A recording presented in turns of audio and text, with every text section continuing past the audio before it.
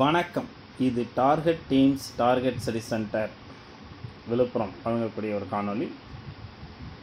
இந்த சேனலுக்கு target teams Villupuram சேனலுக்கு புதுசாக இருந்தீங்கன்னா சப்ஸ்கிரைப் பண்ணுங்கள் கூடவே பெல் ஐக்கானை ப்ரெஸ் பண்ணுங்கள் ஆல் நோட்டிஃபிகேஷன் வழியாக அனைத்து வீடியோக்களும் உங்களை வந்தடையும். வணக்கம். இது target teams target study centre Viluppuram வழங்கக்கூடிய ஒரு காணொளி.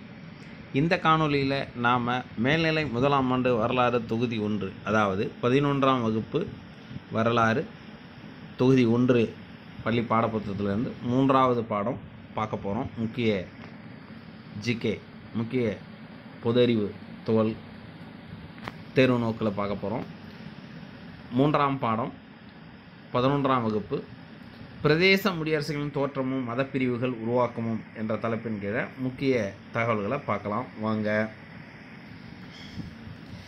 இரும்பு தொழில்நுட்பத்தின் தாக்கம் பல்வேறு பார்வைகள்.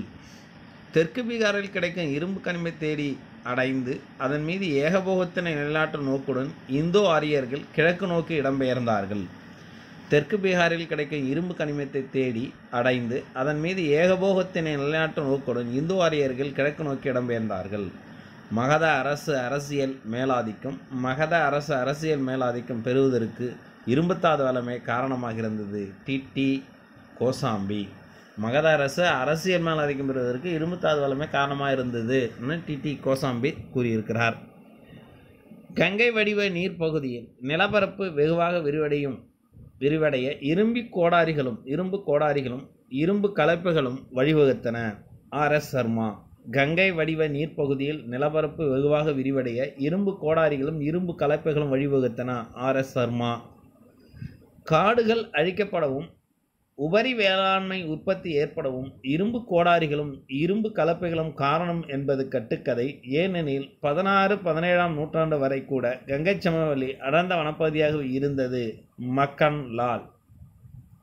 காடுகள் அழிக்கப்படவும் உபரி வேளாண் உற்பத்தி ஏற்படவும் இரும்பு கோடாரிகளும் இரும்பு கலப்பைகளும் காரணம் என்பது கட்டுக்கதை. ஏனெனில் பதினாறு பதினேழாம் நூற்றாண்டு வரை கூட கங்கை சமவெளி அடர்ந்த வனப்பகுதியாக இருந்தது மக்கன் லால். கங்கை பகுதியின் காடுகள் நெருப்பின் மூலமாக அழிக்கப்பட்டிருக்கலாம். கங்கை பகுதியின் காடுகள் நெருப்பின் மூலமாகவும் அழிக்கப்பட்டிருக்கலாம். ஏ கோஷ் நிரஞ்சன் ரே. ஏ கோஷ் நிரஞ்சன் ரே கூற்று என்னென்றால் கங்கை பகுதியின் காடுகள் நெருப்பின் மூலமாக அழிக்கப்பட்டிருக்கலாம்.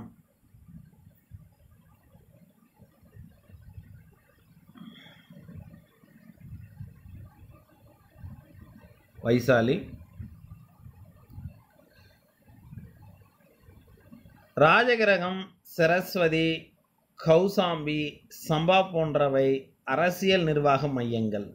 ராஜகிரகம் சரஸ்வதி கௌசாம்பி சம்பா போன்றவை அரசியல் நிர்வாக மையங்கள். உஜ்ஜயினி தட்சசீலம் போன்றவை வணிக மையங்கள். வைசாலி புனித தலம் வைசாலி புதி புனித தலம் பதினாறு மகாஜனபதங்கள் புராண பௌத்த சமண மரபு சான்றுகளின்படி பதினாறு மகாஜனபதம் பற்றி குறிப்பிடுகிறது. ஸோ காந்தாரம் காம்போஜம் அசகம் வச்சம் அவந்தி சூரசேனம் சேதி மல்லம் குரு பாஞ்சாலம் மத்திஷ்யம் வஜ்ஜி அங்கம் காசி கோசலம் மகதம் ஆகியவை பதினாறு மகாஜனபதங்கள். பதினாறு மகாஜனபதங்களுடைய வரைபடம் தான் பார்க்குறோம். அறிவு மலர்ச்சிக்கான காரணங்கள் தலைப்பில் மக்களின் அறிவுசார் ஆர்வத்தை அடக்கும் முயற்சிகள் மேற்கொள்ளப்படும் போது அவர்களின் மனம் அதற்கு எதிராக கிளர்ச்சி செய்கிறது. இது தவிர்க்க முடியாத எதிர்விளைவுகள் எல்லா விதமான முறை சார்ந்த அதிகாரங்களையும் பொறுத்துக்கொள்ள இயலாத தன்மையை வெளிப்படுகிறது. அது சடங்கு ரீதியான மதத்தின் கட்டுப்பாட்டால் காலங்காலமாக ஒடுக்கப்பட்ட வாழ்விலிருந்து ஆவேசமாக விடுபடும் உணர்வாக உள்ளது. இந்திய தத்துவ மேதை மேனாள் குடியரசுத் தலைவர் டாக்டர் எஸ். ராதாகிருஷ்ணன். இந்திய தத்துவ மேதை மேனால் குடியரசுத் தலைவர் டாக்டர் எஸ். ராதாகிருஷ்ணனோட கூற்று என்னென்னா மக்களின் அறிவுசார் ஆர்வத்தை அடக்கும் முயற்சிகள் மேற்கொள்ளப்படும் போது அவர்களின் மனம் அதற்கு எதிராக கிளர்ச்சி செய்கிறது. இது தவிர்க்க முடியாத எதிர்விளைவுகளை எல்லாரும் எல்லா விதமான முறை சார்ந்த அதிகாரங்களையும் பொறுத்துக்கொள்ள இயலாத தன்மையாக வெளிப்படுகிறது. அது சடங்கு ரீதியான மதத்தின் கட்டுப்பாட்டால் காலங்காலமாக ஒடுக்கப்பட்ட வாழ்விலிருந்து ஆவேசமாக விடுபடும் உணர்வாக உள்ளதுன்னு சொல்லியிருக்கிறாரு டாக்டர் ராதாகிருஷ்ணன். தமிழ்நாட்டில் ஆசீவகர்கள் மணிமேகலை நீலகேசி சிவஞான சித்தியார் ஆகியவை ஆசீவக கொள்கை குறித்து குறிப்பிடுகின்றன. மணிமேகலை நீலகேசி சிவனான சித்தியார் ஆகியவை ஆசீவிக கொள்கை குறித்து குறிப்பிடுகின்றன. நீலகேசின் உண்மைக்கான தேடல் அவளை புத்தரிடமும் புராணனிடமும் புத்தரிடமும் புராணனிடமும் இட்டு செல்கிறது.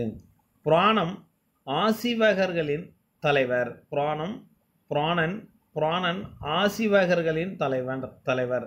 சோழர்கள் ஆசிவகர்கள் மீது வரி விதித்ததாக கூறப்படுகிறது. சோழர்கள் ஆசிவகர்கள் மீது வரி விதித்ததாக கூறப்படுகிறது. மணிமேகலை நீலகேசி சிவனான சித்தியார் ஆகியவை ஆசிவக கொள்கை குறித்து குறிப்பிடுகின்றன. நீலகேசியின் உண்மைக்கான தேடல் அவளை புத்தரிடமும் பிரா பிராணனிடமும் இட்டுச் செல்கிறது. புராணன் ஆதிவாசகர்களின் தலைவராவார். சோழர்கள் ஆசிவகர்களின் மீது ஆசிவகர்கள் மீது வரி விதித்ததாக கூறப்படுகிறது.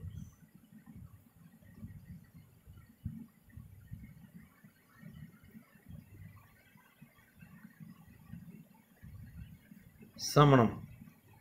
வர்த்தமான மாணர் ஏழத்தாழ பொது ஆண்டுக்கு முன் ஐநூற்றி நாற்பதில் வைசாலிக்கு அருகில் உள்ள குந்தகிராமம் என்ற ஒரு கிராமத்தில் பிறந்தார். இவர் ஒரு கனச்சங்கத்தை ஆளும் குடும்பத்தைச் சேர்ந்தவர். இவரது தந்தை சித்தார்த்தர்.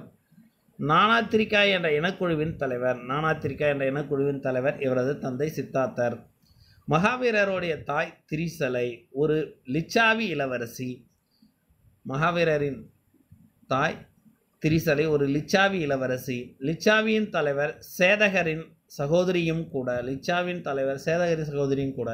மகாவீரர் தன் தாய் வழியில் மகதம் அங்கதம் விதேகம் ஆகிய நாடுகளின் ஆட்சியாளர்களுக்கு நெருங்கிய உறவினர்.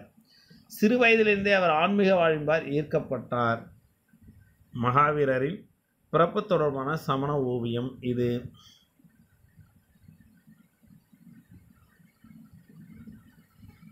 இதுவரை நீங்கள் கேட்டது பார்த்தது இந்த காணொளியில் பதினொன்றாம் வகுப்பு வரலாறு மூன்றாம் பாடம் முதல் பகுதி இரண்டாம் பகுதி அடுத்த காணொளியில் காணலாம். நன்றி வணக்கம்.